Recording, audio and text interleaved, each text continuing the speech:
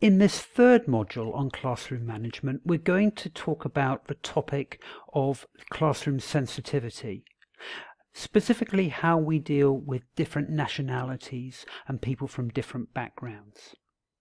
We'll then move on to the hot topic of homework, about when we should give it, whether we should give it, and how to make it realistic and effective when we do. Let's begin with class sensitivity.